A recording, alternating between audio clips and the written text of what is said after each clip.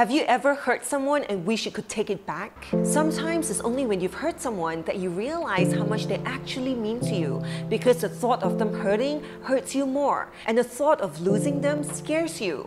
It's a painful lesson. No matter how deeply sorry and regretful we are, we can't expect the people we've hurt to welcome us back into their lives with open arms. Once someone has been hurt, it's incredibly hard for that person to trust us again. And trust is such a big word word, but when it comes to friendships and relationships, what it means is safety, security, and love.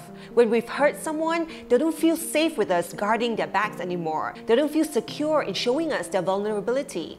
Even when they forgive us, they'll instinctively guard their hearts against us. It takes time and sometimes a really long time before the person we've hurt can confide in us again, before they dare show us affection or love, before their anger, which comes from hurt, face and they can truly believe that we'll never hurt them again, that they are safe with us. We have to accept that it's not their prerogative to forgive us. We can hope and we can keep trying to show we're sorry, but we must do it out of genuine love and with no expectations. We cannot get frustrated or impatient if the person doesn't respond in the way we hope. What else do you want from me? What more can I do?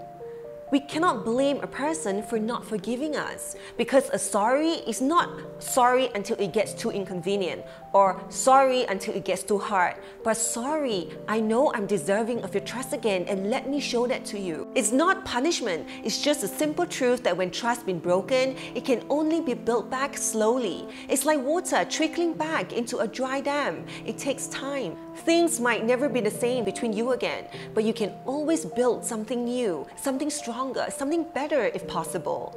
If someone matters to you, don't give up on them, even if it seems like they have given up on you.